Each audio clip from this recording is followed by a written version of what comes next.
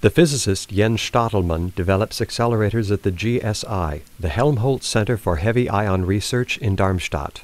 Here we find a particle accelerator with very special capabilities.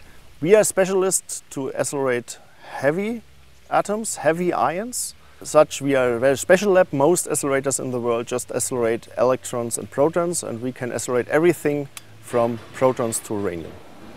Researchers from all over the world use this diversity of particles in Darmstadt to investigate atoms and their cores, plasmas, cellular processes, and peculiar properties of materials.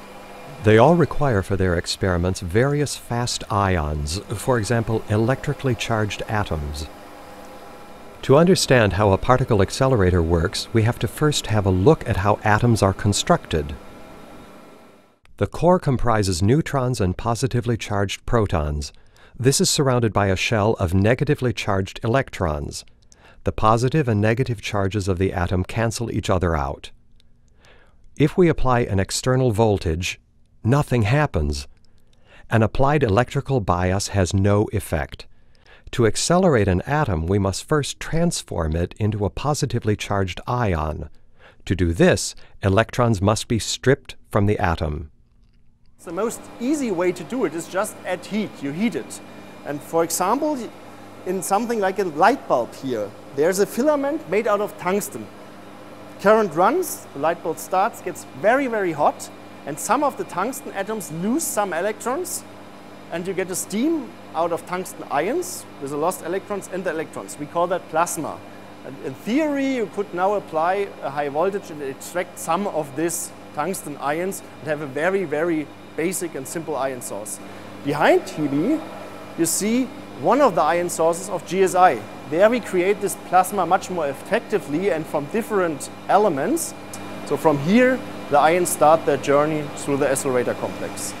The path of the ions leads from the source to the linear accelerator.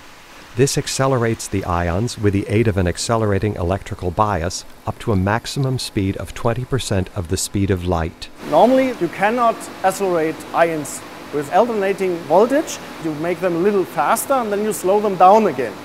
So what we use to, let's say, betray the ions that they think they are accelerated by um, uh, a constant voltage, we um, inject them in a chain of so-called drift tubes. In an electric field, the positive ions always move from the positive to the negative pole. In an alternating bias, they would simply move backward and forward. To ensure the ions only move forward, we must trick them. Whenever the electric field is pointing in the wrong direction, the ions find themselves in a tube that shields them from the bias. Whenever the field points in the right direction, for example, the bias has the correct polarity, the ions receive a boost and move faster and faster. However, to get anywhere near the speed of light, the accelerator must be many, many kilometers long. In such cases, the ions are directed from the linear accelerator into a ring accelerator.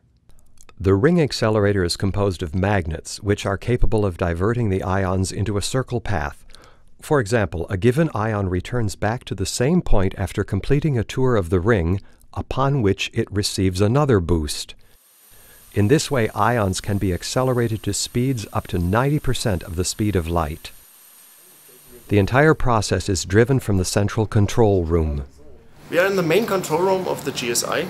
From here, you set up the beams for the various experiments and the machines itself. So you have the, the sources, the Unilac, the SIS heavy ion synchrotron, and the storage ring. We operate the machine 24 hours a day, seven days a week. And um, from here you set up the beams to various experiments. Yet the most exciting accelerator at the GSI is the FAIR facility, under construction since 2012. FAIR stands for Facility of Antiproton and Ion Research we will be able to produce antiprotons, this is antimatter, a completely new field of science. In addition, we still do science with heavy ions like we do today, but we will have a factor of 100 to 1000 higher intensity compared to the present GSI accelerator. So it's like building the present GSI accelerator 100 to 1000 times. The use of antimatter, the large quantities of ions, and the higher energies at the FAIR facility allow us to gain new insights into the structure of matter and the development of our universe.